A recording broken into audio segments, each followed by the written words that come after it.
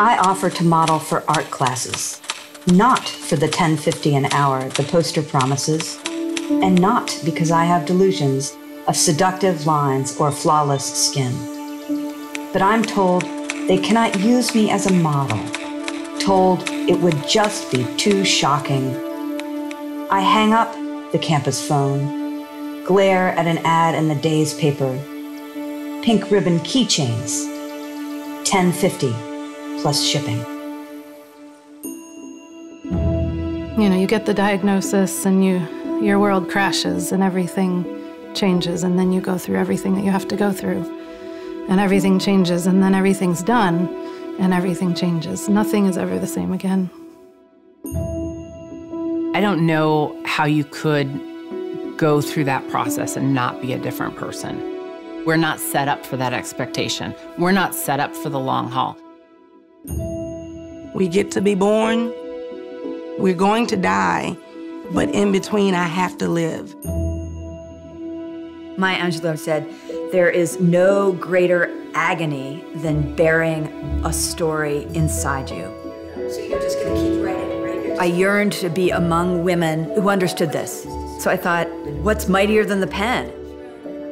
When I was going through um, treatment for stage three breast cancer, um, I got stellar medical care but something was really missing. Um, and I realized that what was missing was real talk. So, faced with stage four pancreatic cancer, I was given a journal, a beautiful journal, and this pen from one of my clients, and I've not made a single entry. Maybe subconsciously I've been waiting to get through all this so I can write about what it was like. But then what if I don't get through it? So I better start writing. When I walked in that room, it was the first time where I was surrounded by women who got it and who were ready to just sit with the pain or sit with the joy or sit with the feelings, the everything.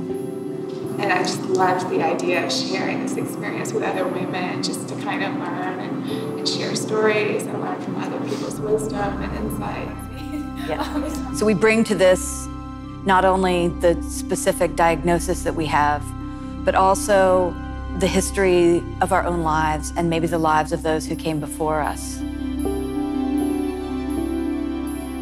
And I took that first bunch of breaths and, she, and, and, and I thought to myself, wow, this is the first time that my shoulders are in the right place. Here's a tool that is yours always. It's portable. You can write anywhere, and it reflects back, and you can put down the burdens you had. I'm actually going to start out some questions that you don't need to think about. It's almost like you're filling out a form. Why? Why would I do that? I want you to recognize that this is more just the act of writing. I remember seeing the list of workshops that I was assigned to and going, huh, okay. We're going to go through a little writing exercise about how journaling is really good for us and how it's great to be intentional. One, your last name. Two, place of birth, city or place of birth. I'm going to say a word, and I want you to just write what comes to mind after I say that word. Arrow. Keep on moving that pen. You can write anything you want to. You don't have to share these, it can be very private. I remember almost feeling like something was being pulled out of me. Curtain. C U R T A I N. Okay, curtains, window, you know, but what do you do with those curtains? You pull them back, and when you pull them back, you reveal something. The last of this exercise I am. I am. Keep on writing. I am a mom, wife, daughter, sister, friend, brave warrior, scared, confused, frustrated, fun. I'm scared, lonely, tired, beautiful inside and out. Why do I question its truth and dignity? Why can't I believe it? We go around the room and share. I am willing to embrace the change and become something new. Take note of myself. I am not shy. I will be writing down words that the participants said just in a different order I am treasured by God, fragile, at peace, wanting sisters. When she pieced all of our words together, everybody felt it as if she wrote one story for me. These are your words. I didn't add anything. Moving to a goal. The arrow through my heart is piercing, so I block out the world. But it's showtime. Or is it the end of an act? Is it a body of water that drops down awash with emotion? I say, what the hell is that? I was born in Rochester, New York General Hospital. I was born to falling water.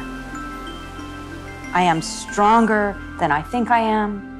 I wrote amazing twice. I wrote amazing twice. I am a gift. Those are your words, your words, your poem because I was in that room with people that had stories, I could finally let myself be. I could scream in capital letters. So it's like, you know, when you can't, I mean, teary eyed now. So when you can't say it, you can write it out in capital letters. Just knowing that you're not the only one that has those those thoughts or those feelings kind of makes you feel like it's it's okay the hour spent, the connection with the other women was deep. Being able to pull the words out and put them on paper was powerful. It gave me something to do with all the thoughts in my head.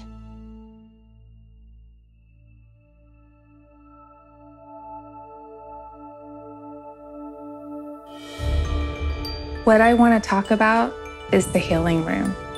A place to hide a tree house. Small bed of branches where you can see the weather coming. Before you know it, you are high above the fray. You are purposeful, patient. Like a hand stitched quilt. To get there, focus on the beauty. Keep open enough that maybe someday you will remember being asked what you wanted.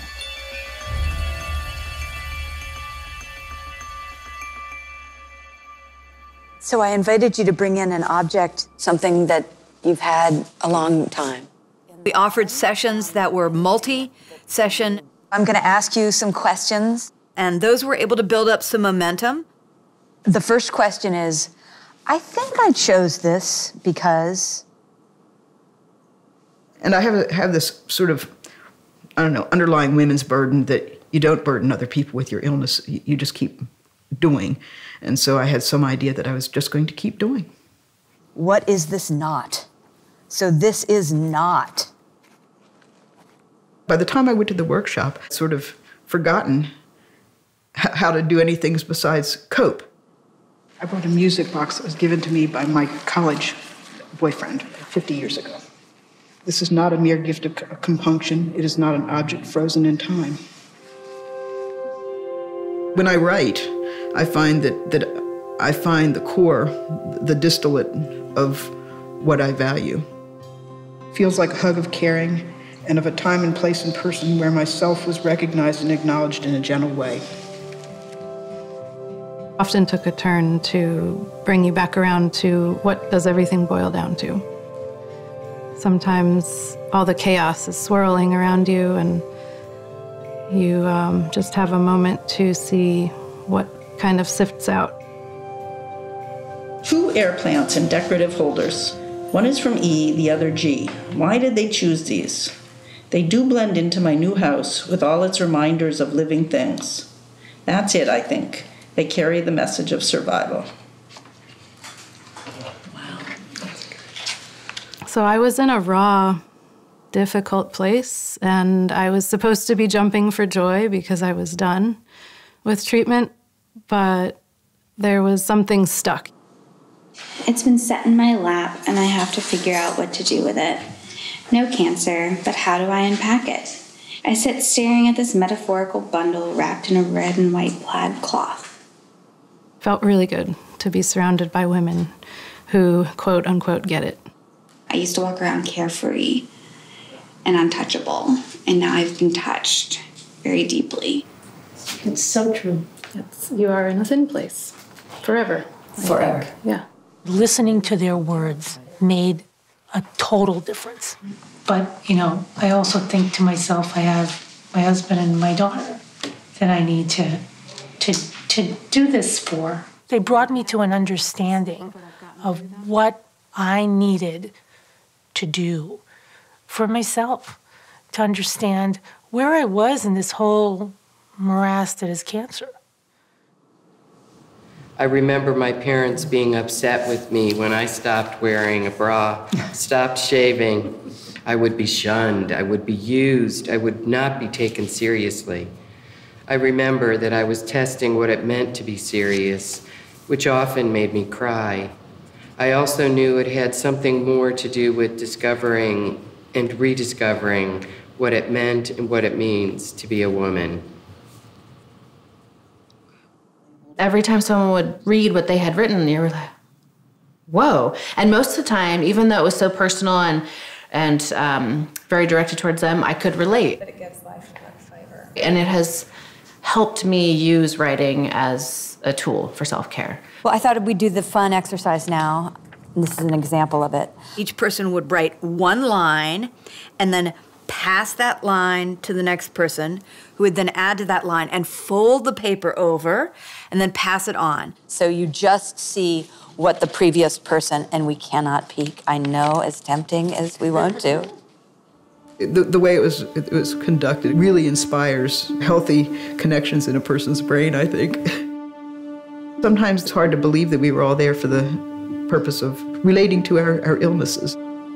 Love me tender is what Elvis said, but the way he moved and seemed to love were more I felt robust. invisible today and maybe tomorrow too. How to harness this feeling when I walk out into a harrowing world. Maybe I can. I want to walk through and get my toes wet. I want to run through and get my everything wet. Because if I don't, then it will be like it never happened at all. Wait. It's real. Oh my God, it's real. It's real. That just happened. Being in those sessions was, it, you know, it depended on the day. Some days it was very, very healing and we laughed. And some days it was a struggle to sit through the whole thing because of the pain in the room. But I also realized that sitting with pain is part of life, and it's, it's a huge part of healing. Who is this woman? Who is this woman?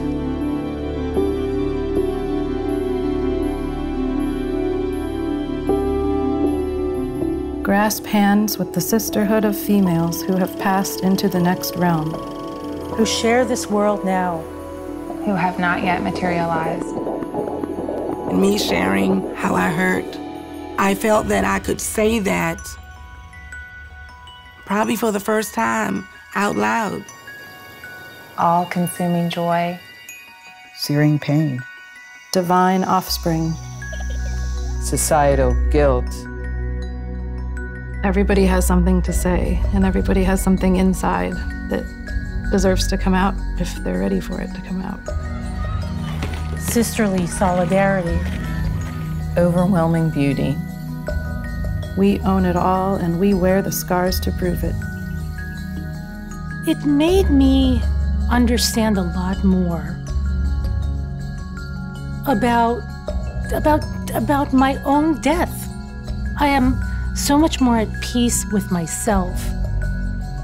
We hold each other up, pull each other out, and push each other through. It's loving kindness when you pray for others that are going through things. Loving kindness. You know, it lightens your load. So, anyway, this has been great for me.